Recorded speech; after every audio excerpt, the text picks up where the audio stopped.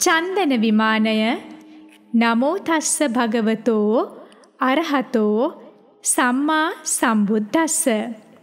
ඒ භාග්‍යවත් අරහත් සම්මා සම්බුදුරජාණන් වහන්සේට নমස්කාර වේවා.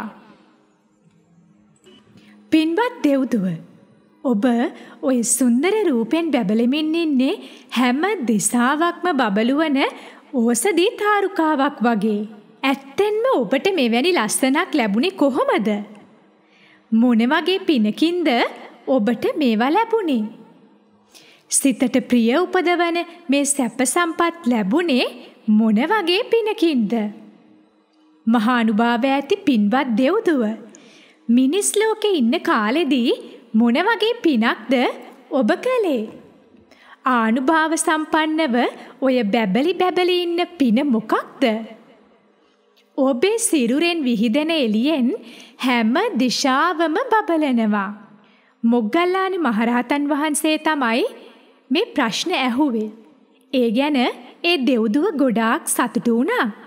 මොන වගේ පින්කම් වලින්ද මේ සැප ලැබුණේ කියන ප්‍රශ්නයට ඇය මෙහෙමයි පිළිතුරු දුන්නේ.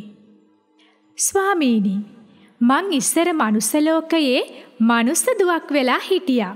මං දැක්කා සිල්වත් ශ්‍රමණයන් වහන්සේලාව. මගේ හිත පැහැදුනා.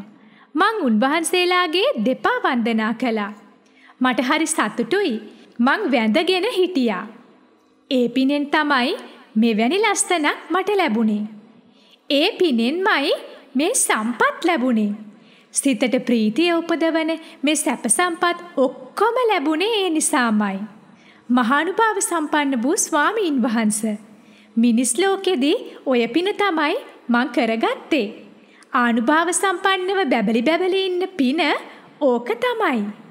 මගේ සිරුරෙන් විහිදෙන එළියෙන් හැම දිසාවම බබලනවා.